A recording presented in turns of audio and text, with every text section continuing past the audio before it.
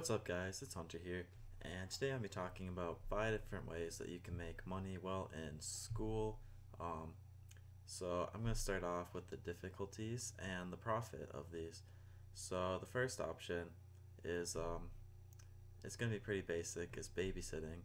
Um, if you're in like middle school to up to college, any age really, you can babysit and that's uh, great money um, for not doing as much work. So, example, if you're in school, you can do homework while you're babysitting, and it works out. Um, moving up, uh, these will get more profit and more detailed. Um, the hard and the, the fifth one.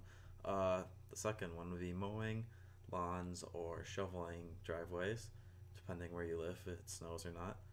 Uh, me and my friends actually did this. Uh, we would print off flyers um, and go door to door and put these in people's mailboxes in their doors, uh, on like community billboards and everywhere um, you can think of really. And we get a lot of calls and business. We couldn't always take all of it because we'd get so many phone calls. To uh, we did shoveling most of the time. We did some some summers we did uh, mowing as well, but charged 20 dollars a lawn or a driveway. And if you do, I don't know, you could probably get uh, on weekends, we can get 10 in, 10 plus a day. Uh, school days, you can get a couple in, and that's a easy 40 bucks there.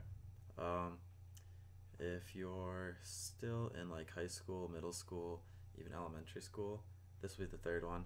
Uh, you can sell food. Uh, I did this when I was younger. I would buy gum or different candy bars when I saw that they were on sale and I'd bring that to school and I just keep a lot in my locker. And when people uh, would, I'd go around and ask people, hey, do you want to buy some gum or something? And it'd be a dollar or something. And I'd make a, a good $20 in a day maybe from all the people I asked. And that's a lot of money when you're still in like middle school.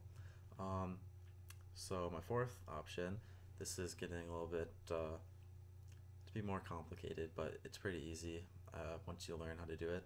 Uh, selling on eBay um, you can first you can sell stuff that you this is how you get started is selling stuff from around your house that you need to get rid of and you'll realize you'll like learn how it works.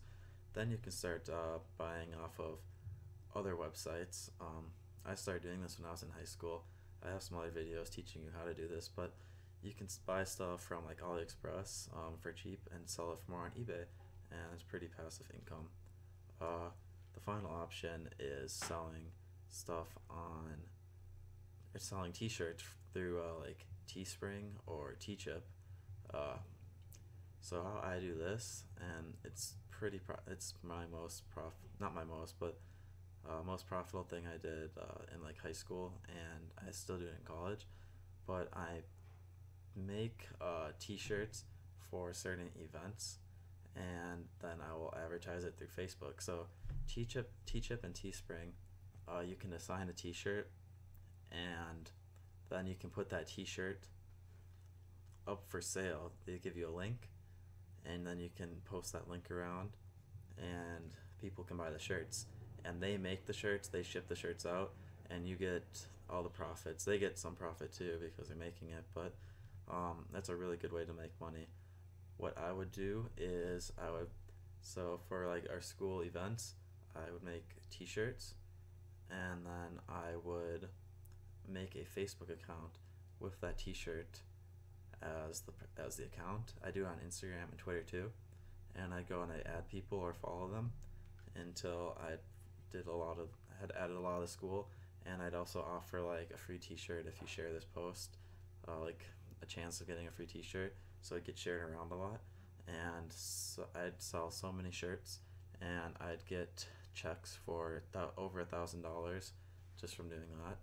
And it's pretty passive because once you've made the shirt and advertise there's this you go check how many shirts did you sell today? Oh it's another 50 shirts that i've uh, sold and today. And you know you're making $10 plus per shirt so it's another $500 in a day for doing nothing.